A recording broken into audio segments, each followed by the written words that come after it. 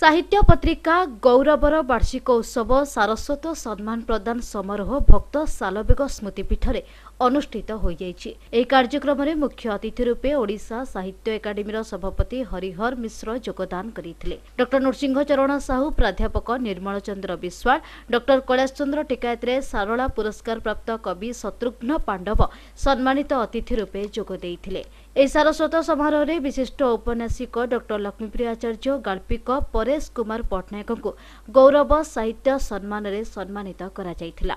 Doctor Ashok Kumar Mohanty ସ୍ୱାଗତ ଅଭିଭାଷଣ ପ୍ରଦାନ କରିଥିବା ବେଳେ କେନ୍ଦ୍ର ସାହିତ୍ୟ ଏକାଡେମୀ ପୁରସ୍କାର ପ୍ରାପ୍ତ ଶିଶୁ ସାହିତ୍ୟିକ ବୀରେନ୍ଦ୍ର ମହାନ୍ତି ଅତିଥି ପରିଚୟ ପ୍ରଦାନ କରିଥିଲେ। ପତ୍ରିକାର ସମ୍ପାଦକ ପଣ୍ଡିତ ଶଙ୍କର୍ଷଣ ଦାସ ସମ୍ପାଦକୀୟ ବିବରଣୀ ଉପସ୍ଥାପନ କରିଥିଲେ। ସମ୍ବର୍ଦ୍ଧନା ପର୍ବ ପରିଚାଳନା କରିଥିଲେ ଅଭିନନ୍ଦନିକାର ସମ୍ପାଦକ ଶ୍ୟାମ ପ୍ରକାଶ ସେନାପତି। ଶେଷରେ ପ୍ରମୋଦ ମଲ୍ଲିକ ଧନ୍ୟବାଦ ଅର୍ପଣ କରିଥିଲେ।